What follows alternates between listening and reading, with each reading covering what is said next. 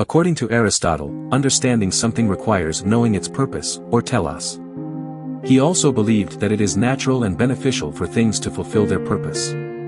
Aristotle also stated that only certain types of financial transactions serve a valuable and healthy purpose. Lastly, he believed that being wealthy means having many things to use and enjoy.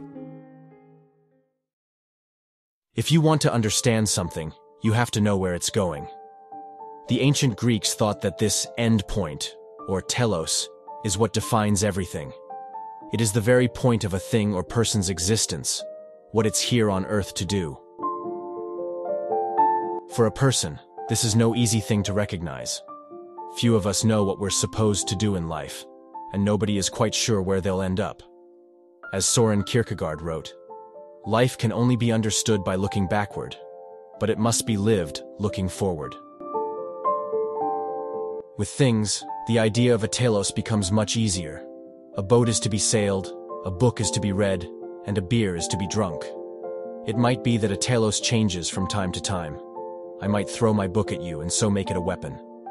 Still, the object is defined by its purpose. This is how Aristotle understood things, and it's also why he so hated money.